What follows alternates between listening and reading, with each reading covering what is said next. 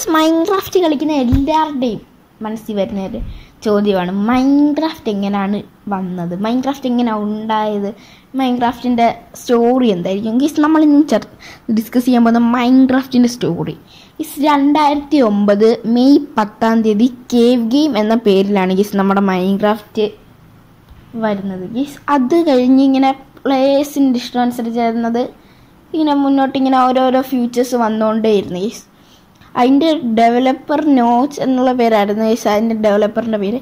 അതിനുശേഷം Minecraft two years ago രണ്ട് വർഷത്തിന് ശേഷം നവംബർ പതിനെട്ട് രണ്ടായിരത്തി പതിനൊന്ന് മൈൻക്രാഫ്റ്റ് എന്ന പേര് ഗേസ് അത് ഒഫീഷ്യലി പി സിയിലൊക്കെ വന്നു ഗേസ് അതായിരുന്നു ഗീസ് മൈൻക്രാഫ്റ്റിന്റെ ഒരു ഗീസ് മൈൻക്രാഫ്റ്റിന് കേവ് ഗെയിം എന്നുള്ള പേരിൽ തന്നെ ഒത്തിരി ആൾക്കാർ കളിക്കാനൊക്കെ തുടങ്ങി. അതിന് ശേഷമാണ് ഗീസ് മൈൻക്രാഫ്റ്റ് എന്ന പേര് വന്നത്.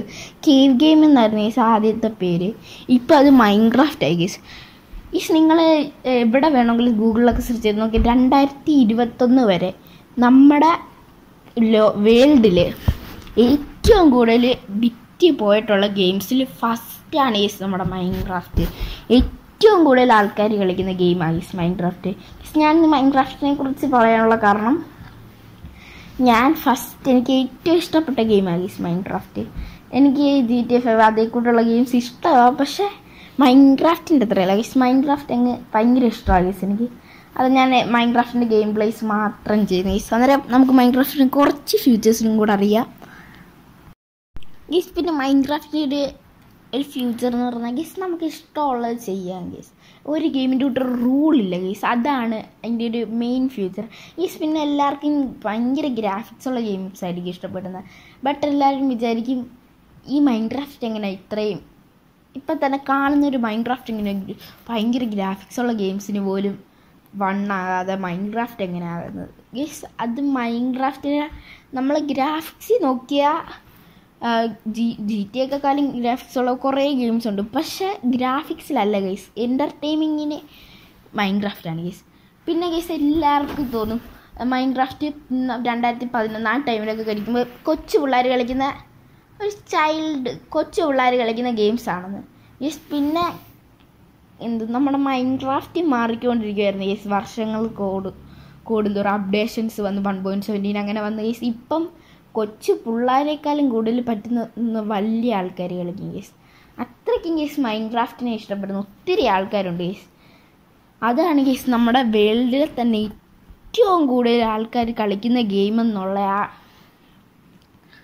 ആ സ്ഥാനത്ത് മൈൻക്രാഫ്റ്റ് ഇപ്പോൾ എത്തി നിൽക്കുവാണ് ഗീസ് അന്നേരം. ഗീസ് പിന്നെ മൈൻക്രാഫ്റ്റിന്റെ ഒരു മെയിൻ ഫ്യൂച്ചർ എന്ന് പറഞ്ഞാൽ എനിക്കിത്തിരി ഇഷ്ടപ്പെട്ട ഗേസ് സ്റ്റോറി സ്റ്റോറി ഇല്ല ഒരു ഗോളോ അങ്ങനെ ഒന്നുമില്ല ഗൈസ് നമുക്ക് നമുക്ക് ഇഷ്ടപ്പെട്ട് എന്ത് വേണമെങ്കിലും നമ്മൾ മൈൻഡ് ക്രാഫ്റ്റ് ചെയ്യാം. ഗൈസ് അങ്ങനെ നമുക്ക് നാല് ഫ്യൂച്ചേഴ്സാണ് ഗൈസ് ഉള്ളത്. അഞ്ച് ഫ്യൂച്ചേഴ്സാണെന്ന് പറയാം. സർവൈവൽ മൈ സർവൈവൽ ഫസ്റ്റ് എന്ന് പറഞ്ഞാൽ നമ്മൾ തന്നെ സാധനങ്ങൾ കളക്ട് ചെയ്ത് ഉപയോഗിക്കുന്നത്.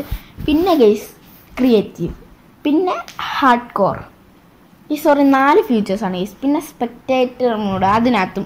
അങ്ങനെ നാല് ഫീച്ചേഴ്സ് അടങ്ങിയ ഒരു ഗെയിമാണ് ഗൈസ് മൈൻഡ് ക്രാഫ്റ്റ് എന്ന് പറഞ്ഞാൽ മൈൻഡ് ക്രാഫ്റ്റ് അന്നേരം കളിക്കുന്ന ഒരു ഗീസ് കളിച്ച് നോക്കുക ഗീസ് നല്ല ഗെയിമാണ് ഗീസ് ആദ്യമേ നമുക്ക് കളിക്കുമ്പോൾ സാധാ ഗെയിം ഒരു ചെറിയ ഗെയിം കൂട്ട് തോന്നും.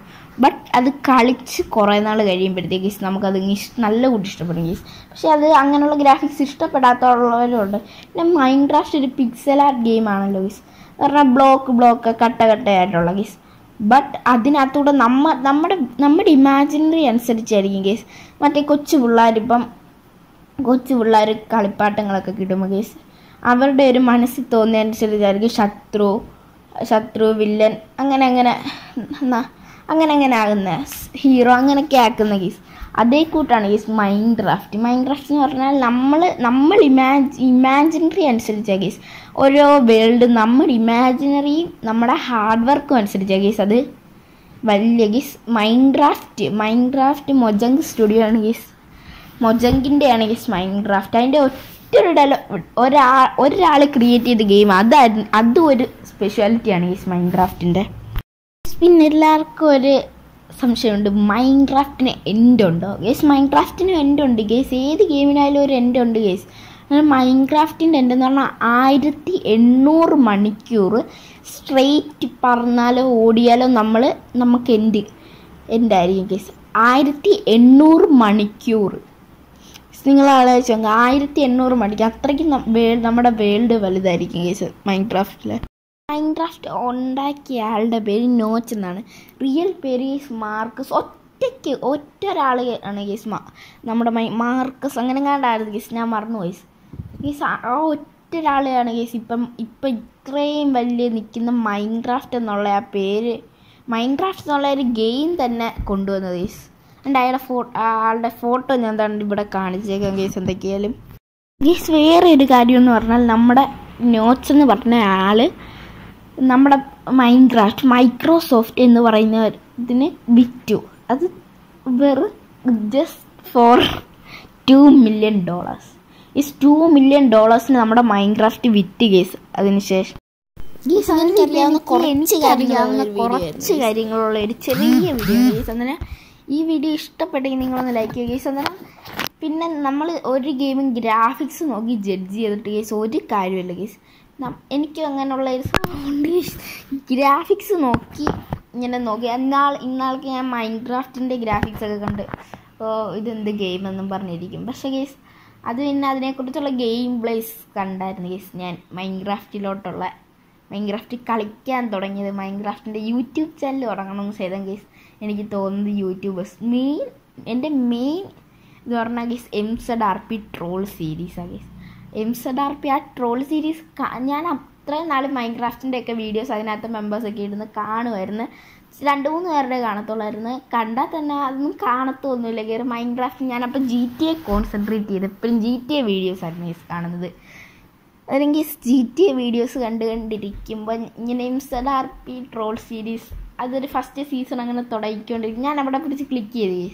ആ നോട്ടിഫിക്കേഷൻ വന്നപ്പോൾ ഞാൻ വിളിച്ച് ഞാൻ കണ്ടത് മലയാളം ടിക്കീസിന്റെ ചാനലിലായിരുന്നു ഈസ് ഞാൻ അങ്ങനെ അങ്ങനെയായിരുന്നു കണ്ടത് ഗീസിന്റെ മൈൻക്രാഫ്റ്റിന്റെ മൈ നമ്മളെ മലയാളം ടിക്കീസിന്റെ ചാനലിലായിരുന്നു ഈസ് നമ്മൾ ഞാൻ ആ വീഡിയോ ക്ലിക്ക് ചെയ്ത് ഈസ് ഞാൻ എന്റെ കൈതട്ടി ക്ലിക്ക് ആയതാണ് ഈസ് അന്നേരം ഒരു ട്രോൾ സീരീസ് എന്ന് കണ്ട് ഞാൻ ചുമ്മാ കണ്ടുകൊണ്ടിരുന്നു. എനിക്കപ്പോൾ കാണാൻ വേറെ യൂട്യൂബിലെ ഒരു വീഡിയോസ് ഇല്ലായിരുന്നു ചുമ്മാ ഇരിക്കുമായിരുന്നു ഈസ് അന്നേരം ഞാൻ ചുമ്മാ കണ്ടുകൊണ്ടിരുന്നു.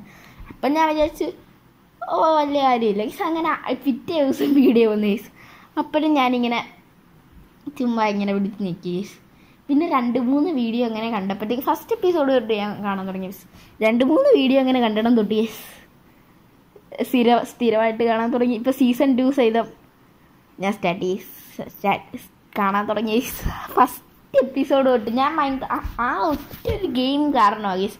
ഞാൻ മൈൻഡ് ക്രാഫ്റ്റ് ഇഷ്ടപ്പെടാം ആ ഗെയിം പ്ലേ ഒറ്റ എണ്ണം കാരണമാണ് ഗൈസ് പിന്നെ എല്ലാ മൈൻഡ് ക്രാഫ്റ്റ് ഗെയിം പ്ലേസും ഞാൻ കാണാൻ തുടങ്ങി ഇതൊക്കെ എനിക്കറിയാവുന്ന ഞാൻ യൂട്യൂബിലും എല്ലാത്തിലും സെർച്ച് ചെയ്തിട്ട് എനിക്ക് കുറച്ച് ഇൻഫർമേഷൻ അല്ല വലിയ ഡോക്യുമെന്ററി ഒന്നും ലൈസ് അന്നേരം ഈ വീഡിയോ ഇഷ്ടപ്പെട്ടെങ്കിൽ നിങ്ങളൊന്ന് ലൈക്ക് ചെയ്യുക സബ്സ്ക്രൈബ് ചെയ്യുക ഷെയർ ചെയ്യുക. നിങ്ങൾ മൈൻഡ് ക്രാഫ്റ്റ് ഇഷ്ടപ്പെടുന്ന എല്ലാവർക്കും ഒന്ന് ഷെയർ ചെയ്ത് കൊടുക്കുക അന്നേരം ത്രീ ത്രീ ഹൺഡ്രഡ് സബ്സ്ക്രൈബേഴ്സാണ് എല്ലാവരും സബ്സ്ക്രൈബ് ചെയ്ത് സപ്പോർട്ട് ചെയ്താൽ നല്ലതായിരിക്കും. Thank you for the support at bye bye see you from the next episode of Minecraft എന്തെങ്കിലും നമ്മൾ മൈൻഡ് ക്രാഫ്റ്റ് ആക്കി ഇടുന്നത്.